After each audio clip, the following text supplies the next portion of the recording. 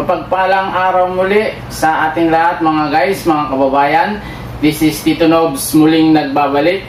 Small YouTuber, simpleng vlogger, handang maglingkod sa inyo saan mang sulok ng mundo tayo naroroon. Mga kababayan, maraming salamat sa inyo sa walang sawang uh, panunood ng aking mga video at uh, hindi pag-skip ng ads. Nang dahil dyan mga kababayan, ay uh, may posibilidad tayo na mayroon pa tayong ibang matutulungan na higit na nangailangan. So please, paki-subscribe ng aking channel at paki-likes na rin at huwag pong kalimutan pindutin yung kampana para po lagi tayong updated sa ating mga susunod na mga videos. Mga kababayan, sino si Gina sa buhay mo? Ito yung katanungang matagal nang hinahanapan natin ng solusyon.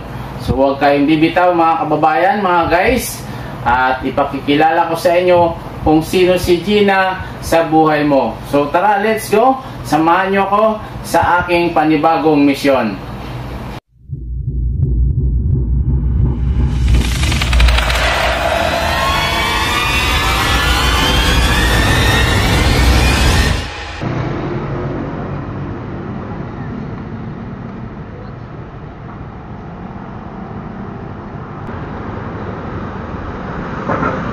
Ate. Higa dito oh.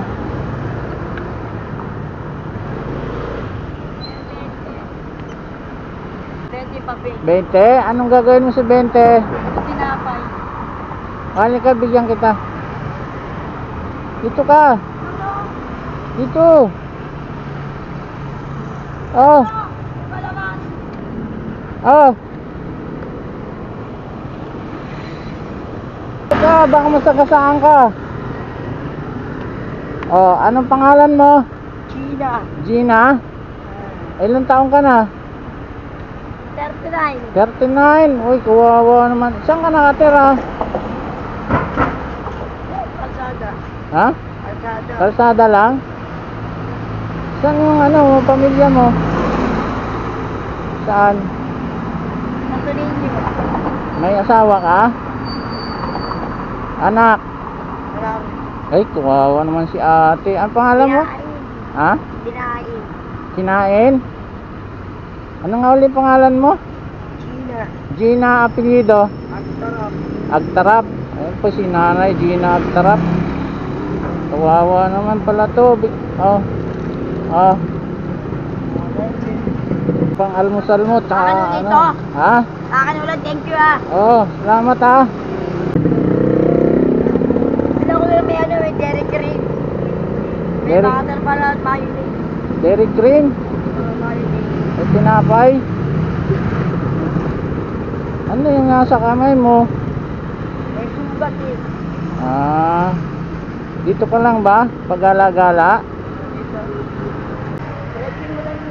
Yan. Bakit wala kang asawa? Asawa ay nakaharang. Naharang. Ba't naharang? Kanila. Ata! Oh, sige.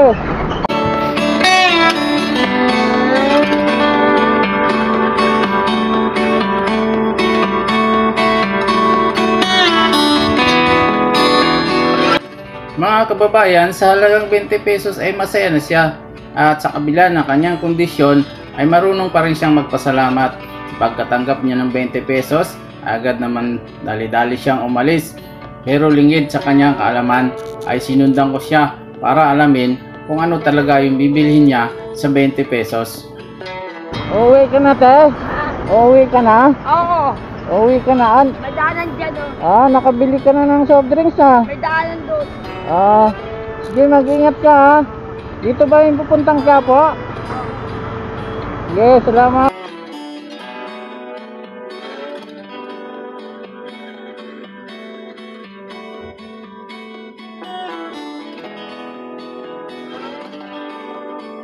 Mga kababayan, siya si Gina, isang homeless at kung saan saan na lang natutulog sa kalsada. Kailangan niya ng tulong, di ko man siya naiangat sa kahirapan, ay nabiyaan ko naman siya na kahit pa paano ay malamanan ang kumakalam niyang sikmura. Mga guys, mga kababayan, kung matagal ka nang nakaupo Maari bang ikaw ay tumayo at baka sakaling matanaw mo at matanaw mo ang tunay na kalagayan ni Gina. Ito po ang inyong lingkod, Tito Nobs, handang maglingkod sa inyo saan mang sulok ng mundo kahit sa napakasimpleng paraan. God bless po sa ating lahat.